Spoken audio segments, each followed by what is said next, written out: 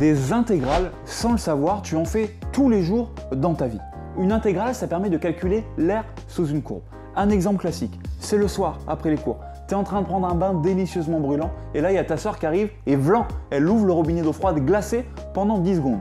Si tu as 2 litres par seconde qui sont sortis de ce robinet, et qu'elle l'a ouvert pendant 10 secondes, combien de litres est-ce que tu t'es pris dans la tronche? Bah, Tu t'es pris 10 secondes fois 2 litres, 20 litres. Ça, c'est une intégrale. En effet, si je décide d'afficher le débit du robinet en fonction du temps, ton débit, ça va être une ligne droite à 2 litres par seconde. Et eh bien si ta soeur, elle l'a fait pendant 10 secondes, toi, ce que tu vas calculer, c'est l'air sous la courbe de ce rectangle qui vaut cette hauteur-là, c'est-à-dire 2 fois cette longueur, égale 20 litres par seconde. Là où les intégrales, c'est vraiment intéressant, c'est si ta sœur est un peu vislarde et qu'elle va plutôt l'ouvrir, le fermer, l'ouvrir, le fermer, et que tu veux calculer le débit. Ben, si tu as cette fonction-là, tu as juste à faire une intégrale et à calculer l'air sous la courbe.